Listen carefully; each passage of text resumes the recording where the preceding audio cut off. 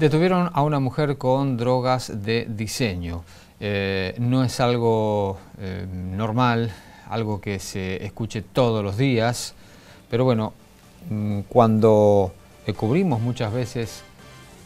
los operativos que realiza tanto Policía Federal como Gendarmería en, por ejemplo, fiestas electrónicas,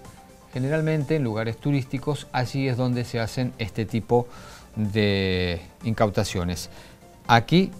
se logró detener a esta mujer con cocaína rosa, metanfetaminas, LSD, ketamina, eh, popper. Esta gran variedad de estupefacientes tenía eh, la mujer en su poder para realizar delivery de drogas de diseño a través de una plataforma de mensajería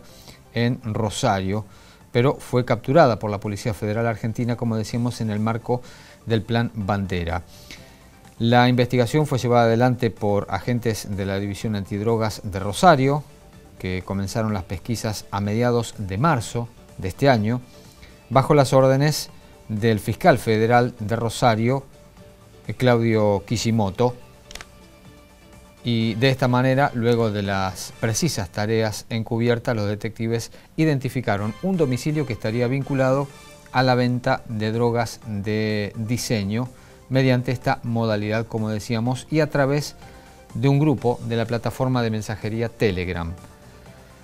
Con todas estas pruebas aportadas, el doctor Carlos Verabarro eh, estará a cargo de,